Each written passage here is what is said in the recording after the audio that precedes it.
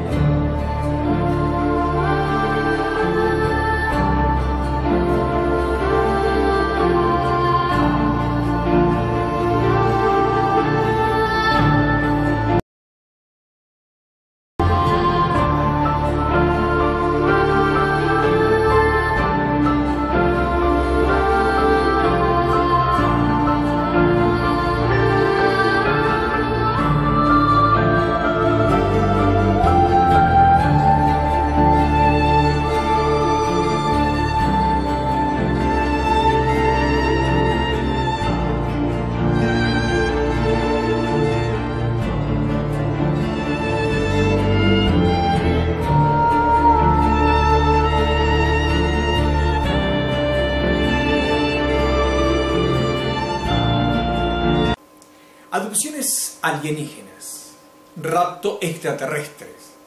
Básicamente la palabra adopción en inglés significa rapto. En este caso lo adaptamos precisamente a aquello que podría significar un rapto origen extraterrestre, es decir, de algo que no pertenece a nuestro planeta Tierra. Pero la pregunta inmediatamente es el por qué. ¿Quiénes o qué son? ¿Qué buscan? ¿Qué es lo que sucede cuando está dentro supuestamente de una nave alienígena? ¿Cómo es su interior? A lo largo de la historia desde 1947, con la adopción del matrimonio Barney y Betty Hill, comenzó una serie de odiseas de raptos, de adopciones alienígenas. Les propongo a ustedes recorrer estas adopciones y enterarnos un poco más, o al menos intentar develar ¿Qué es la adopción alienígena? Los ovnis siguen siendo un debate interminable, pero ningún otro tema es tan polémico y fascinante como el de las abducciones alienígenas. De hecho, la abducción alienígena es el único tipo de encuentro que, gracias a los testimonios de los testigos, nos puede proporcionar detalles sobre el interior de los ovnis. Unos detalles que tal vez nos ayuden a comprender cómo viven los alienígenas y qué es lo que quieren. Parque Natural de Allagash, en el estado de Maine, 20 de agosto de 1976. La abducción de Allagash es un caso absolutamente impresionante. Aquella noche, cuatro hombres, dos hermanos y dos amigos estaban pescando. No les iba muy bien con la pesca. Decidieron salir al lago con una canoa. Los cuatro amigos, entre ellos Chuck Reck, hacen una hoguera en la orilla con la intención de que les sirva como iluminación para su pesca nocturna. Lo que todavía no saben es que no serán ellos los que pescarán, sino que algo está a punto de pescarlos a ellos. Algo que al final acabará con su amistad. Habían salido ya al lago cuando de repente vieron una luz brillante en el cielo, que se iba acercando cada vez más hasta que finalmente pudieron distinguir un enorme ovni. Los cuatro estimaron que el diámetro era de unos 24 metros. Uno de ellos apuntó al ovni con una linterna e intentó iluminarlo, pero el ovni seguía acercándose a ellos. En aquel momento, el pánico se apoderó de los cuatro hombres que intentaron volver a la orilla. Empezaron a remar como locos cuando de repente una luz brillante les iluminó desde arriba. A partir de ahí no recuerdan nada. Unos minutos después, los hombres vuelven a estar en la orilla, pero hay algo que no les cuadra. No tenían ningún recuerdo de lo que les había ocurrido. De alguna forma, habían vuelto a la orilla y la hoguera se había apagado del todo. Sabían que eso no era posible, ya que unos segundos antes estaba ardiendo. Estaba claro que habían sufrido un lapsus de memoria. Algo les había ocurrido y no sabían si había pasado solo una hora o más tiempo. Lo que sí sabían con seguridad era que no recordaban nada. Los lapsus de memoria son una señal típica de las abducciones alienígenas. A veces, cuando los testigos intentan recordar una abducción alienígena o el avistamiento de un ovni, se dan cuenta de que existen momentos que no recuerdan y no entienden por qué. A eso lo llamamos lapsus de memoria. Después de un tiempo, empezaron a tener recuerdos, sueños y pesadillas. Por eso acudieron a hipnotistas y mediante la terapia de regresión lograron recuperar un recuerdo. Habían estado en el interior del ovni. El método de la hipnosis como herramienta para investigar encuentros con alienígenas y evocar los recuerdos reprimidos de una experiencia traumática sigue siendo tema de debate entre investigadores y científicos. El hipnotismo es un procedimiento en el que una persona se sume en un estado de relajación profunda. Esto significa que no solo es posible que se activen recuerdos guardados en su memoria, sino que puede que incluso sean capaces de derribar las barreras construidas. Durante las sesiones de hipnosis, los hombres de Alagash empiezan a recordar su intenso y dramático encuentro con varios alienígenas que supuestamente los llevaron a bordo del ovni. Allí arriba vieron a unos seres de rasgos humanoides, pero no humanos que los sometieron a alguna clase de examen médico, una característica típica de las abducciones alienígenas. Los escépticos indican que existen muchas similitudes entre los diferentes testimonios de abducción alienígena y que eso podría ser consecuencia de la autosugestión. Los testigos afirman que flotaron de alguna forma hacia el interior del ovni. Algunos dicen que a través de la superficie sólida de la nave, otros que a través de las paredes o techos, y otros que a través del mismo casco de la nave aseguran que después se encontraron en algún tipo de espacio cerrado que a menudo describen como limpio y de color blanco. Para los escépticos, estas descripciones repetidas son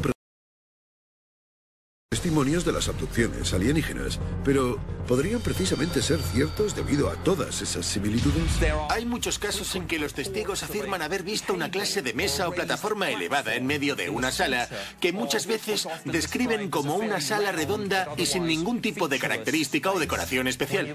Cuando escuchas los diferentes testimonios de abducciones y los testigos te explican los recuerdos que tienen del lugar, la mayoría de ellos afirma haber estado en una sala de examen médico con varios aparatos médicos a su alrededor y con los abductores inclinados sobre ellos. Pero hemos de suponer que no se trata de la única sala que puede haber en la nave.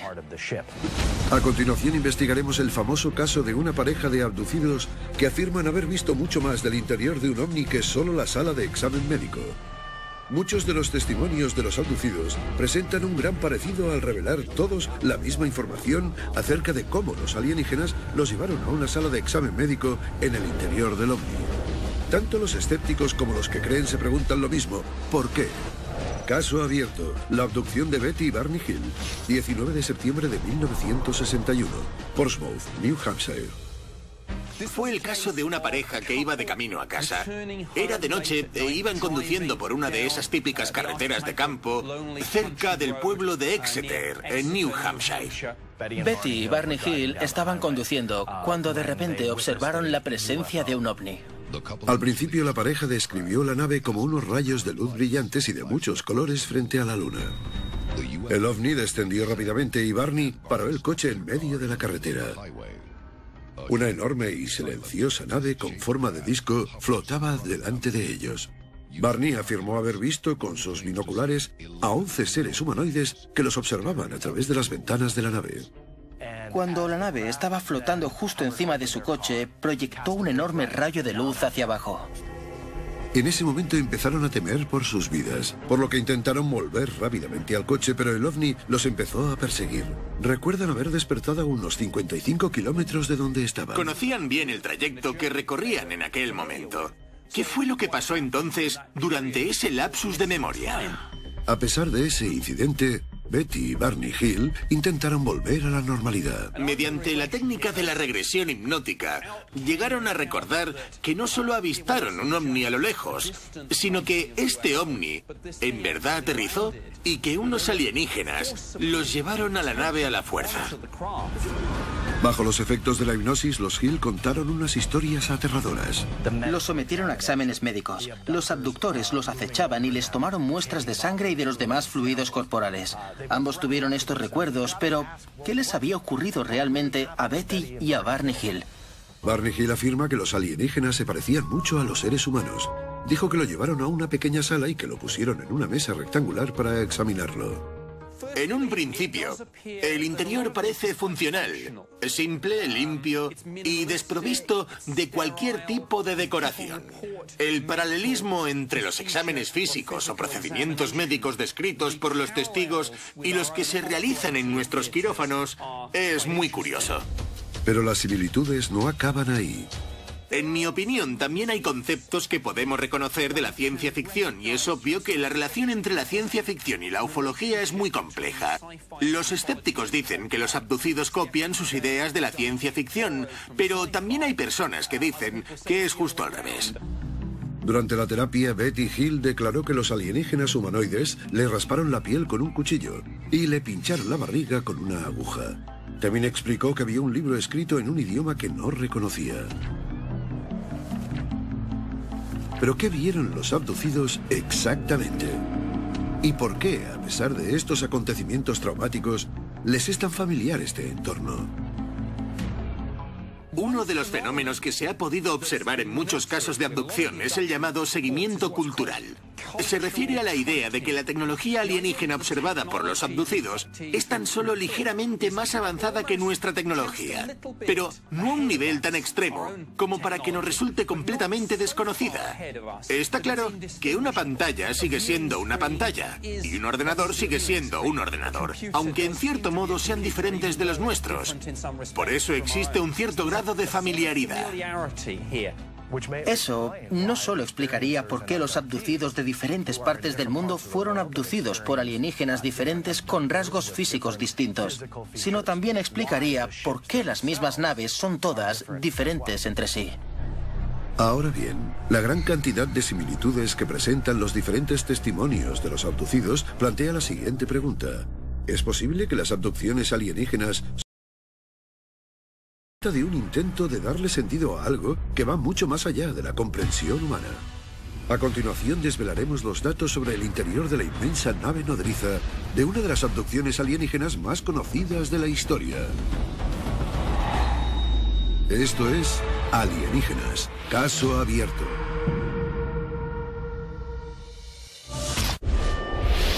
Bienvenidos de nuevo a Alienígenas, caso abierto. Muchos abducidos que supuestamente han presenciado el interior de un ovni afirman haberse encontrado en un entorno tecnológico extrañamente similar al nuestro, aunque más avanzado. Pero este famoso encuentro de un hombre con alienígenas describe algo mucho más grande, una nave nodriza. Caso abierto. La abducción de Travis Walton. 5 de noviembre de 1975. Bosque Nacional de Apache Sitgriffs, en Arizona. Travis Walton trabaja para una empresa de tala de árboles en Arizona. Cuando termina su turno, el equipo de leñadores vuelve al campamento y de repente aparece una luz brillante algo alejada de la carretera. Travis decide acercarse para echarle un vistazo. Resulta que Travis Walton era una persona muy extrovertida y atrevida. Sus compañeros de trabajo le gritaron e instaron a que volviese a la furgoneta. Pero Travis no dejaba de acercarse cada vez más al ovni, casi como si lo estuviese desafiando de una forma bastante agresiva. De repente Travis queda envuelto en un rayo de luz que viene del ovni y poco después desaparece de la faz de la Tierra. En ese momento, El rayo lo alcanzó, lo levantó del suelo y lo levantó por los aires. Sus compañeros de trabajo pensaban que había muerto. A los compañeros de trabajo de Travis les entró el pánico y se fueron. Poco tiempo después denunciaron su desaparición en la comisaría local, pero cinco días después de este incidente, el cuñado de Travis recibió una llamada. Unos días más tarde, Travis Walton volvió a aparecer a varios kilómetros de distancia, completamente desorientado y con un aspecto poco aseado. Recordaba lo que había pasado. Fue más adelante, bajo los efectos de la regresión hipnótica, cuando surgieron algunos recuerdos. Travis cuenta una historia aterradora y revela que lo sometieron a exámenes médicos invasivos y que lo tuvieron encerrado durante mucho tiempo. A lo largo de los años, Travis Walton accedió a someterse a un detector de mentiras en reiteradas ocasiones. Si alguien miente o tiene algo que ocultar, supongo que habría evitado ponerse en esa situación. Si las abducciones alienígenas son de verdad, ¿qué es lo que quieren los abductores? Si una civilización inteligente llegase a la Tierra y viese esta especie increíblemente inferior a la suya, se preguntaría, ¿cómo la especie humana ha logrado llegar hasta aquí? Se preguntarían cómo surgieron esos seres que construyen edificios enormes y que se desplazan con vehículos extraños. ¿Cómo llegaron a existir? ¿Qué intenciones tienen? Creo que podemos afirmar que tendrían exactamente las mismas intenciones que nosotros. La afirmación de Travis de haberse visto sometido a un examen médico es algo que todas las abducciones tienen en común, pero su descripción del interior de la nave sí que es una novedad. Afirmó haber visto varias habitaciones y que, en un momento dado, le dejaron moverse libremente por el interior de la nave. Estuvo, por ejemplo, en una sala muy parecida a un planetario. Travis afirma haber visto una habitación con el techo abovedado y con silla de control en el centro. Esa silla tenía algo que se parecía mucho a unos mandos. Se sentó en ella y tocó varios botones. Fue como si estuviese en un planetario, donde iban apareciendo estrellas en el techo. En ese momento se dio cuenta de que tal vez no fuera una buena idea tocar los mandos. Se trata de uno de los pocos casos de abducción alienígena en el que el abducido tuvo la posibilidad de utilizar alguno de los dispositivos tecnológicos. Después llevaron a Travis a otra sala de la nave, que, según él, era tan grande como el andar de un aeropuerto. Describió el interior de la sala como una cueva, y afirmó que dentro de la nave había otras naves más pequeñas, todas muy parecidas a la nave que le había abducido. Travis vio varias naves en esta sala, todas con forma de disco y con un diámetro de unos 20 metros. Supongo que el intrigante paralelismo que tenemos aquí es la idea de un portaaviones. Me refiero a que hay muchos testimonios de abducciones alienígenas que hablan de naves exploradoras y de naves nodriza. Está claro que a Travis Walton lo abdujeron en una nave exploradora para luego llevarlo a la nave nodriza. ¿Es posible que los ovnis que observamos en la Tierra sean simplemente las naves exploradoras de una nave nodriza gigante? Si tenemos en cuenta la cantidad de naves que Travis Walton vio en una única sala de la nave nodriza, eso nos da una cierta idea de su tamaño. Supone, por tanto, que la nave nodriza era enorme. Algunos testimonios de abducciones alienígenas hablan de naves del tamaño de un centro comercial o de un campo de fútbol. Está claro que la nave en la que se encontraba Travis Walton era de ese tamaño. Si pensamos en todas las historias que nos cuentan los abducidos sobre la forma, el tamaño, el color y el material de las naves alienígenas que abdujeron a estas personas, nos daremos cuenta de que existe una gran variedad de naves y muchos tipos diferentes de ovnis que nos visitan y que podemos observar en el cielo. A continuación investigaremos el comportamiento que muestran los alienígenas hacia los abducidos y descubriremos que posiblemente no sea tan distinto al nuestro. Los testimonios de abducciones alienígenas indican que tal vez haya una nave nodriza escondida en nuestra órbita, que envía a sus naves exploradoras para que examinen nuestro planeta y sus seres vivos, incluyendo los seres humanos.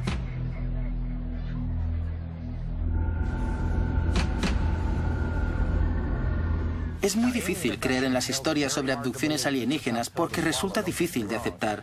Pero si comparamos su especie con la especie humana o su ciencia con la ciencia que conocemos nosotros y de la que hemos aprendido y que hemos desarrollado durante los últimos 100 o 150 años, nos daremos cuenta de que vamos por el mismo camino. No hay ninguna diferencia entre estas historias que muchos tachan de locuras y la ciencia que hemos desarrollado hasta ahora. Pienso que ambas especies estamos viviendo un intenso proceso de aprendizaje mismo camino. La cuestión es, ¿quién será el primero en llegar? Todos estos testimonios de abducciones alienígenas carecen de pruebas definitivas.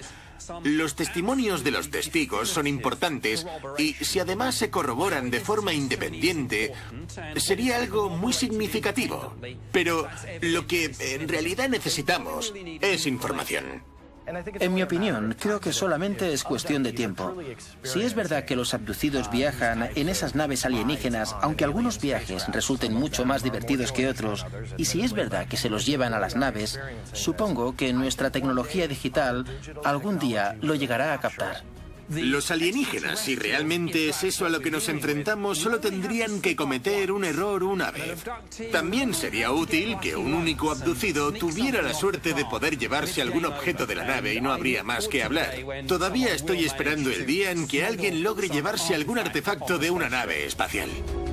Y cuando llegue ese día, puede que sean los abducidos los que finalmente logren demostrar la existencia de los alienígenas.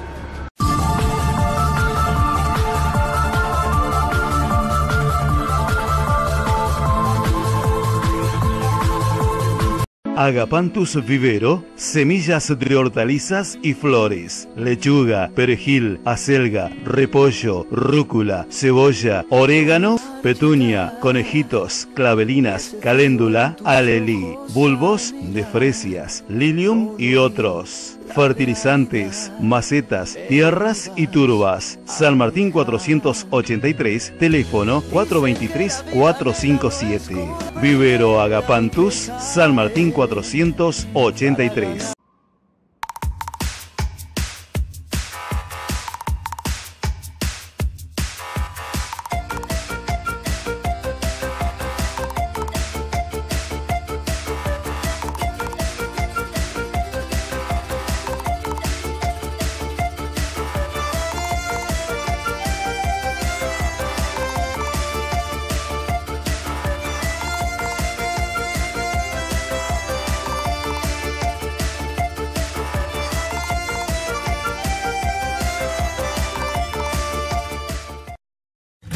Farmacia, la única fórmula que combina salud, belleza y ahorro. Para encontrar tus medicamentos y cosméticos, encontrar consejos saludables, mejorar la salud, pagar menos. Todos los días, Farmacia quiere, te cuida. Conócela, te va a encantar.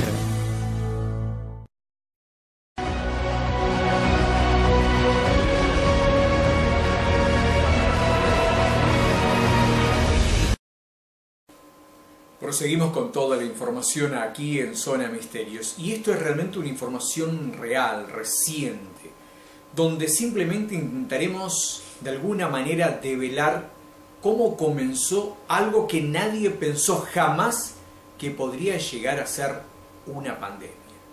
Lo que en un principio parecía ser una endemia únicamente en China, de pronto abarcó el mundo entero. Hoy seguimos conviviendo y luchando contra algo prácticamente invisible, pero que indudablemente puede llegar a ser tremendamente mortal.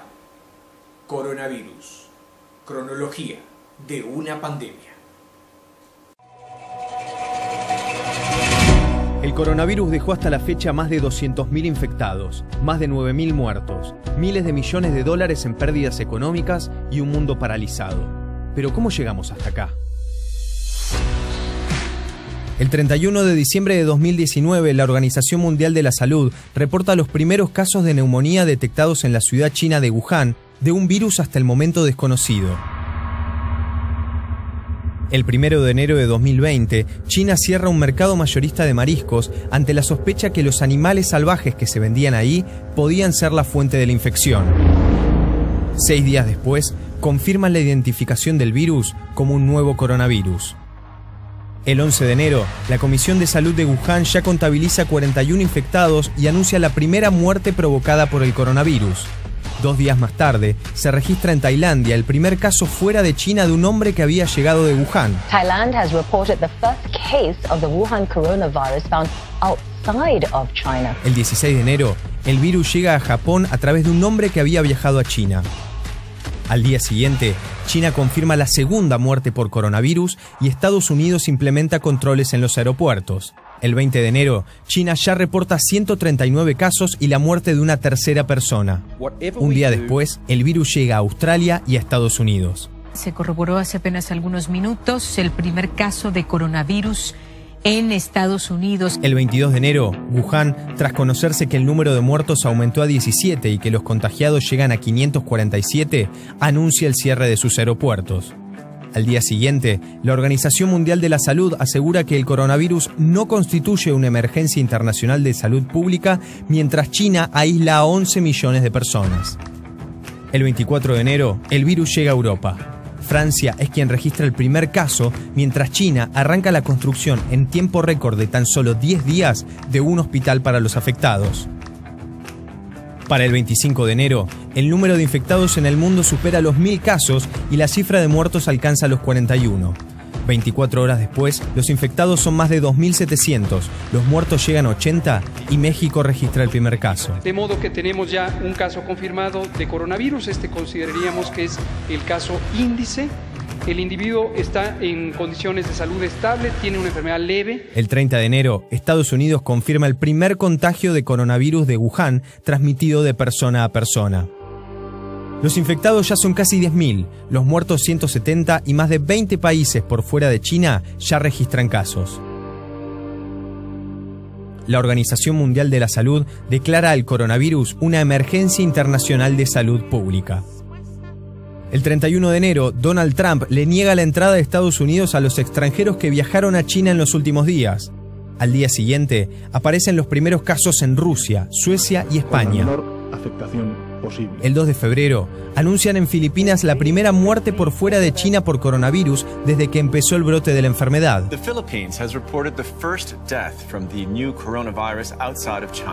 Dos días después, el ministro de Salud de Japón anuncia que 10 personas a bordo del crucero Diamond Princess tienen casos confirmados de coronavirus y el barco queda en cuarentena.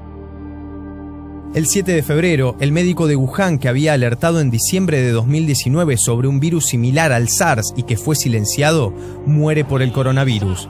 La cifra global ya supera las 500 víctimas mortales. El 10 de febrero, el coronavirus llega a las 1.000 víctimas en todo el mundo y supera la epidemia del SARS en 2002 y 2003.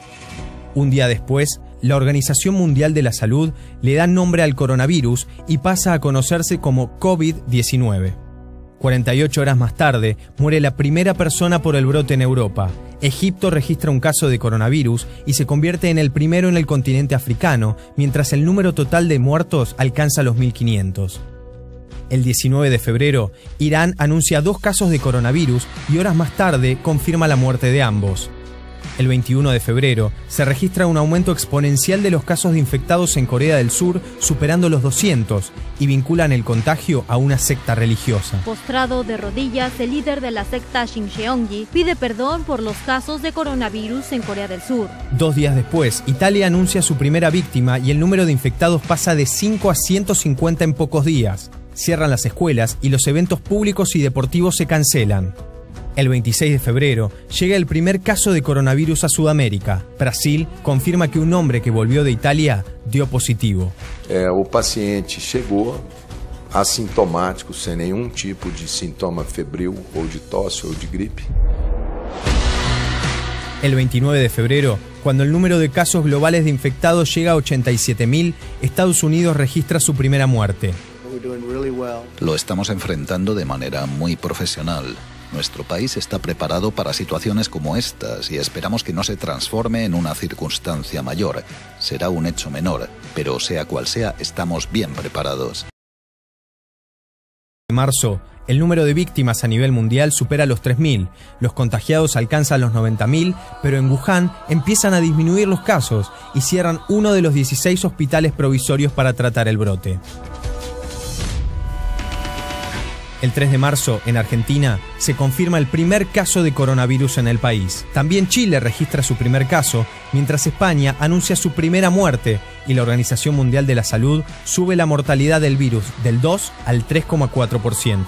El 7 de marzo, un hombre de 64 años que había estado en Francia muere en Buenos Aires y se convierte en el primer caso mortal registrado en América Latina, cuando el número global de muertes es cercana a 3.500. Primer muerto por coronavirus en la Argentina. Una información que obviamente duele y duele mucho. Estaba internado en el hospital Argerich. Dos días después, el primer ministro italiano cuando los casos de infectados superan los 9.000 y las muertes llegan a 463. La decisione giusta oggi è di restare a casa. Il futuro nostro dell'Italia è nelle nostre mani. Al día siguiente, el presidente chino Xi Jinping visita Wuhan por primera vez como símbolo de superación del brote en la ciudad. El 11 de marzo, la Organización Mundial de la Salud define al COVID-19, causada por un nuevo coronavirus, como una pandemia.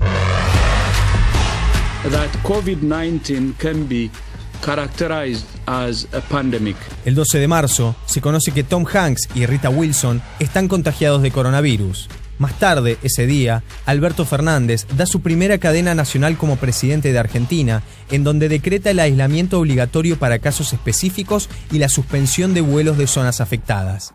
La realidad es que esta pandemia nos convoca como sociedad, nos convoca al Estado Nacional, a cada provincia, a cada municipio, a cada uno y a cada una. Por eso dicté un decreto de necesidad y urgencia que amplía la emergencia pública en materia sanitaria. Al día siguiente, el número de muertos alcanza los 4.700. El 14 de marzo, el presidente de Estados Unidos declara una emergencia nacional y autoriza una ayuda de 50 mil millones de dólares. Artistas, deportistas y referentes mundiales le piden a la población que se queden en sus casas. Hi, El 15 de marzo, Argentina, con 56 casos confirmados y dos muertes, decreta el cierre de fronteras y suspende las clases en todos sus niveles. Al mismo tiempo, Italia suma 368 muertes en un día y eleva el número de muertos a 1.809, siendo el segundo país después de China con más fallecidos y el que registra la mortalidad más alta. El 16 de marzo, el número de muertos global supera los 6.500. 17 de marzo. Se suspende el fútbol argentino, la Copa América y la Eurocopa. Francia decreta cuarentena obligatoria y cierra las fronteras. España registra más de 2.000 contagios y 150 muertos en 24 horas. Y Brasil suma su primera víctima. 18 de marzo. Argentina, con 79 contagiados, anuncia medidas económicas para resguardar las industrias perjudicadas. Estados Unidos inyecta 800 mil millones de dólares para salvar los mercados. Los especialistas calculan que el distanciamiento social podría ser necesario más de un año y China anuncia que consigue los primeros resultados positivos de una vacuna contra el coronavirus. 19 de marzo. Italia rompe el récord mundial de víctimas en 24 horas con 475 muertos. Brasil se posiciona como el país latinoamericano con más muertes. Estados Unidos cierra su frontera con Canadá.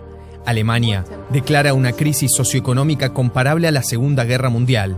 Y Argentina declara la cuarentena general obligatoria. Esto quiere decir que a partir de ese momento nadie puede moverse de su residencia. Cuarta víctima fatal de coronavirus en la Argentina. The epicenter of the COVID-19 pandemic is still in Todavía se desconocen los alcances de la pandemia que puede cambiar el mundo.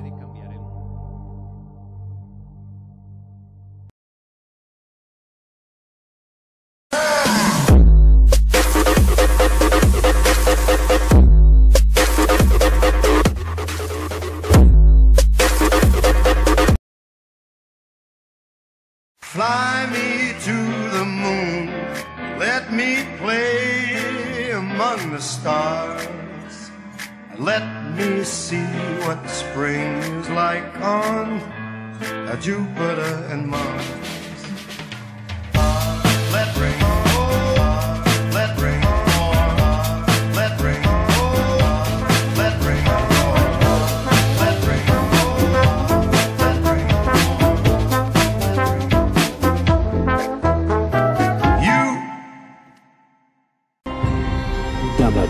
Aire licenciado em Kinesiologia e Fisioterapia. Matrícula provincial 1653. Rehabilitaciones neurológicas, traumatológicas, respiratorias, geriátrica, pediátricas. Equipos de fisioterapia, ultrasonido, magnetoterapia, infrarrojos. Atención personalizada. Obras sociales, ART y particulares. Atención a domicilios. Sacar turnos de lunes a viernes por la mañana en Urquiza 1257 o comunicarse al 3437 48 38 31 Amaris. Ailén Barolín, licenciada en Kinesiología y Fisioterapia.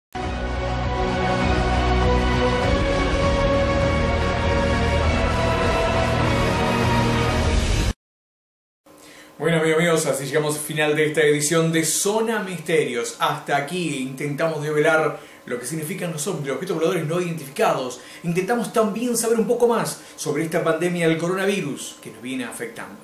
Y quedan muchas historias más por delante que seguramente ustedes y nosotros intentaremos desvelar. Muchas gracias por estar junto a nosotros y nos encontramos, si Dios quiere, dentro de siete días para que juntos podamos desandar este camino de la investigación. Muchas gracias y será hasta el próximo encuentro.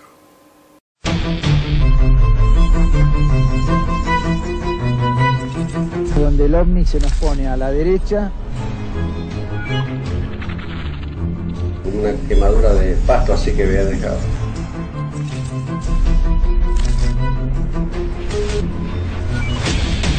La cabeza grande, los ojos grandes un ovni, objeto volador no identificado.